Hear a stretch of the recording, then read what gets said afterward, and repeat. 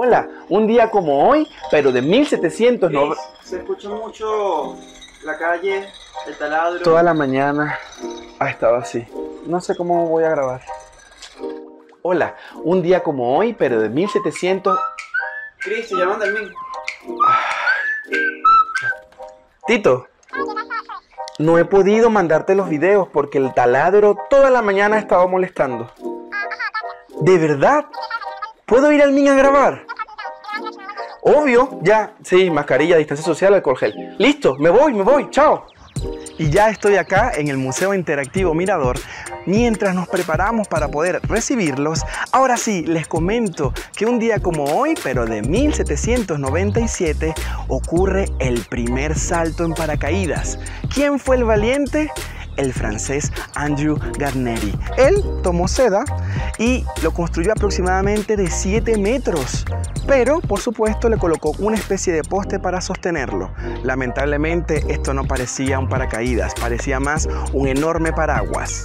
Él toma su paracaídas y se sube a un globo de hidrógeno. Tenía una pequeña cesta donde él se podía aferrar y comienza a volar sobre París a 670 metros de altura. Miles de personas lo observaban. Él no se puso nervioso, desde su cesta corta la cuerda que conectaba el paracaídas y comienza el primer descenso.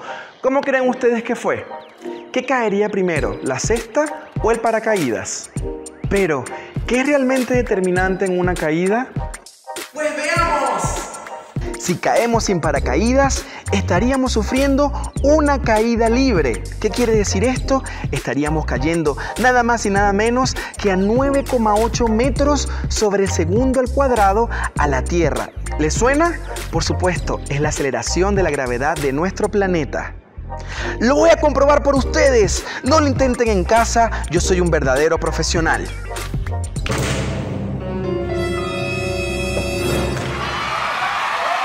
sensación de esta caída similar a lo que sienten los astronautas en el espacio.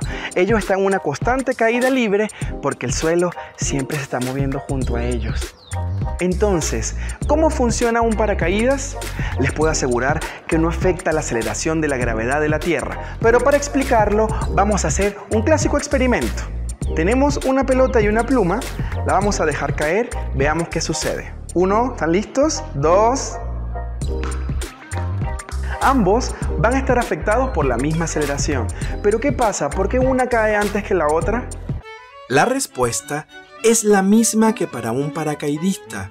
En nuestra atmósfera hay aire y aunque no lo veamos, este aire ejerce una resistencia que disminuye la velocidad de la caída de los objetos. Al usar paracaídas, estamos utilizando una superficie amplia que aumenta la resistencia del aire y por ende reduce la velocidad de la caída. Algo similar ocurre al nadar. A menor superficie que utilicemos para enfrentar el agua, nos será mucho más fácil abrirnos paso. Este principio también se puede aplicar en los aviones.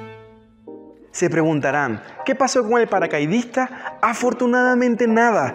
A pesar de lo rudimentario de su paracaídas, que parecía más bien un paraguas gigante, este, aunque no lo crean, cumplió su función. Sin embargo, no fue una caída tan sencilla porque al no tener orificios no tenía por dónde fluir el aire, así que su descenso fue bastante balanceado, haciendo una caída bastante violenta a diferencia de los paracaídas modernos que al abrirse tienen una superficie mucho más amplia, permitiendo mayor resistencia al aire, pero a su vez que el aire fluya, haciendo de un aterrizaje mucho más amigable. Pero ¿qué sentiría Garnering con su primer salto? ¿Qué se imaginan ustedes? Bueno, es la primera persona considerada en sufrir de mareo aéreo. Y ahora que sabemos toda esta información, ¿ustedes se atreverían a lanzarse en un paracaídas?